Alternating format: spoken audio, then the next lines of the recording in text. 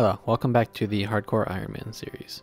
I don't know what it is about the Hardcore Iron Man, but there's a lot of people who kind of walk up to me and I don't know if they're role playing, but it's kind of funny and interesting to see what they say. And this guy kind of went on a whole giant spiel and just left. I don't know what he was doing.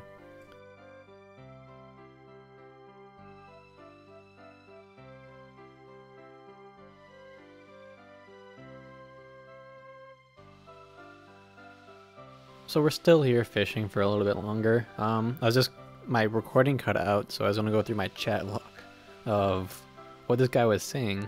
It's kind of interesting.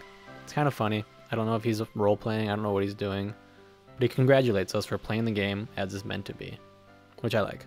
I appreciate it, dude.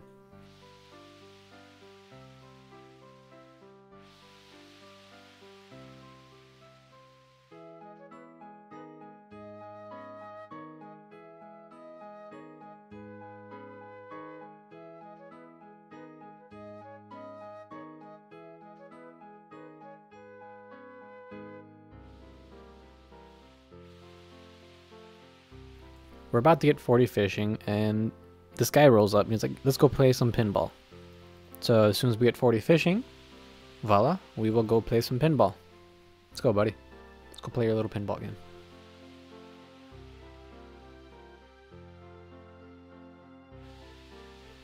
We're back from pinball. We got five cut rubies. I'll take it. Ended up going to Catherby. I wanted to cook all the fish that I caught. Get some cooking levels because we're going to need it for cooking lobsters. And we're about to hit 43 cooking.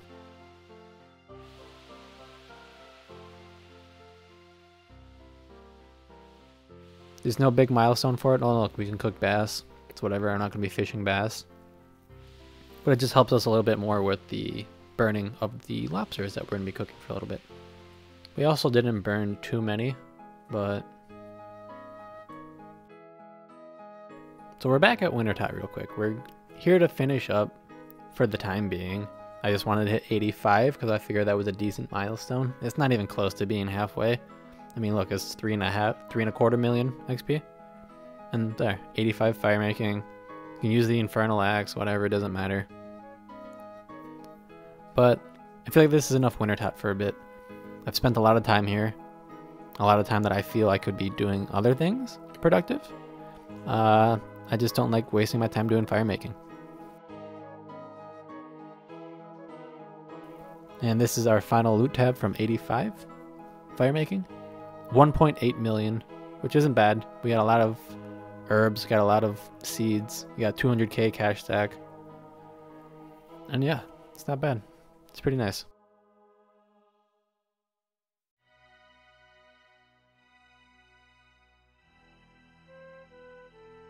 I wanted to go make some arrows again. I really like the benefits of the steel arrows. Uh, there's 39 smithing. It's whatever. Steel warhammers. But we're making a whole bunch of the arrowheads so we can go train ranging. It's one of the skills that I really want to get up high enough just because it enables us to do so many bosses, save spots for Slayer, and then in general, it makes a lot of money and it's very profitable once you get past the early game.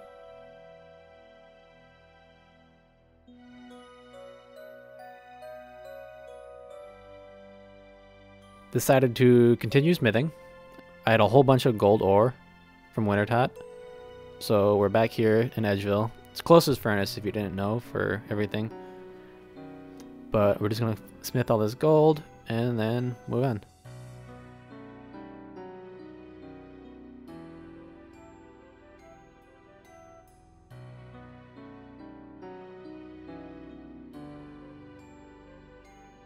Also, I had a whole bunch of gems from Wintertodt that I wanted to cut.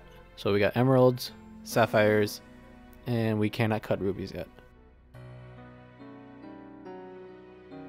I am making my magic amulet. So we made the amulet unstrung.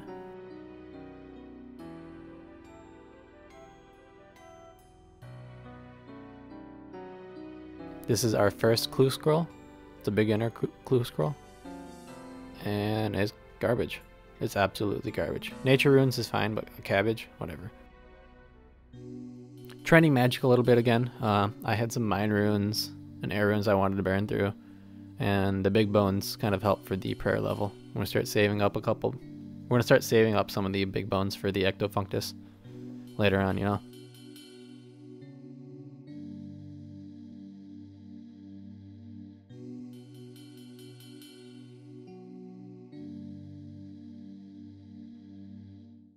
Uh, with the prayer training comes the Restless Ghost quest.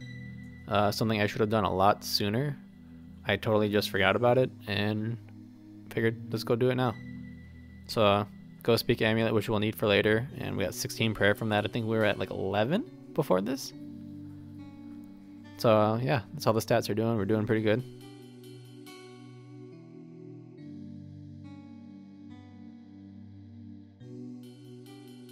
Finishing our second clue scroll.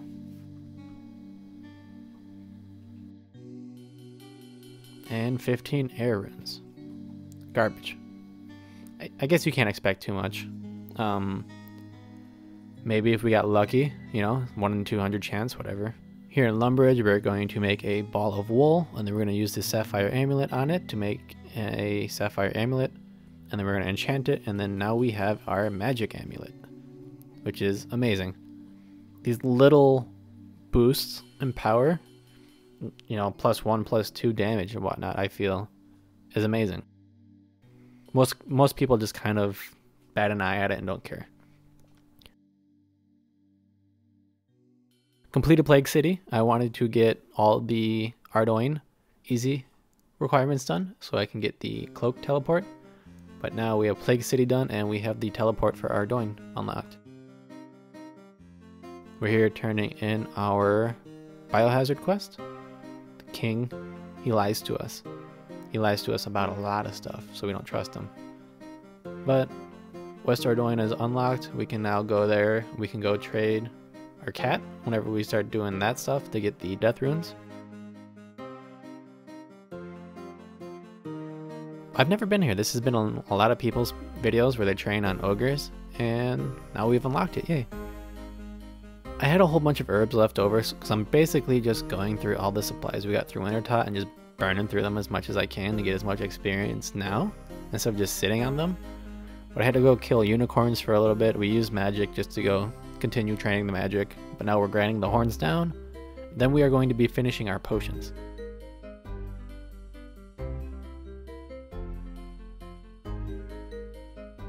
There's 20 herblore. We can all clean Harralanders.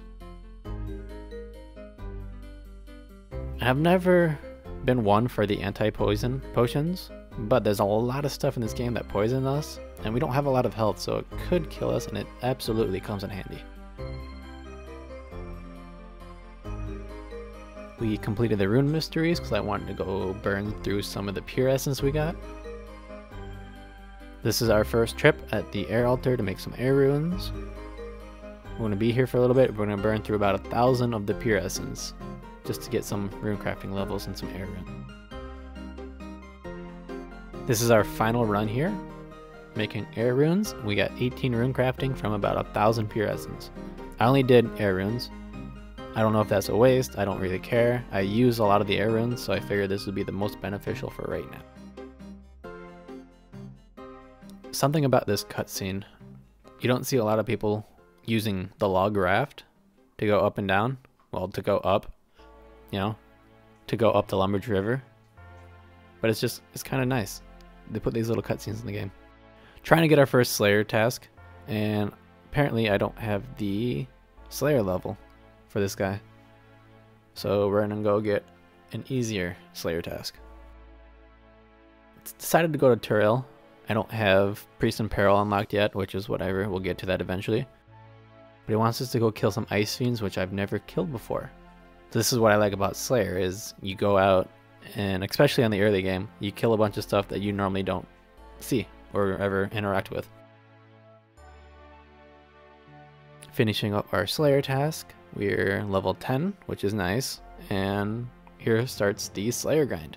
This is our very first Slayer task, with many more to come, and a couple resets. We're continuing the Slayer grind. Um, We're about level 41 and a half.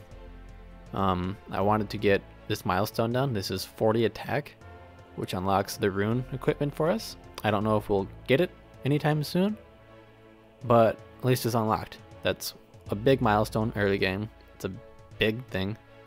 Oh, we also have 30 Slayer.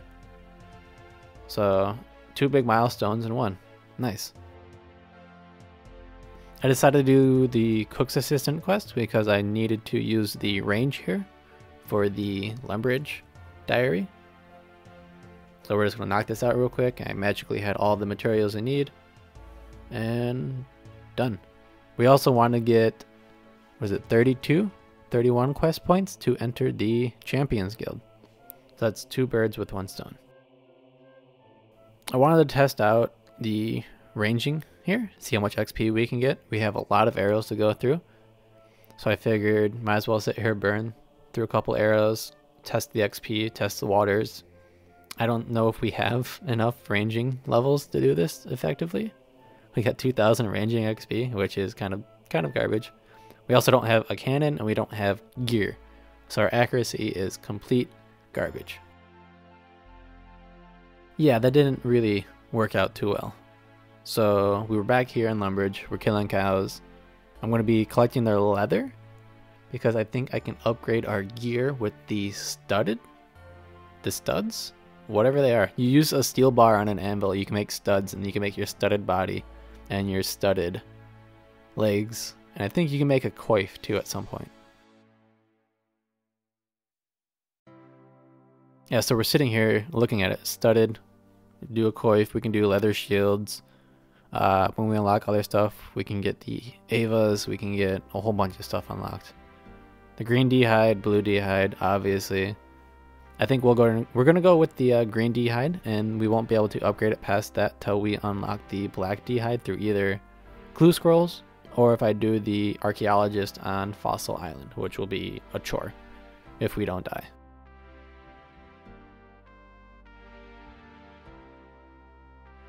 We're here.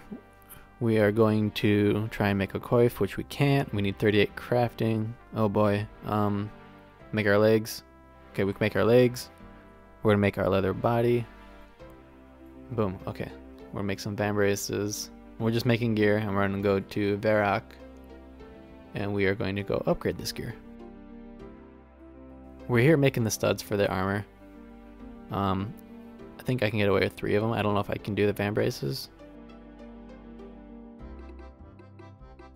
But I need 44 crafting. What about the body? 41. I don't know why you need more crafting for the legs and not the body, but whatever.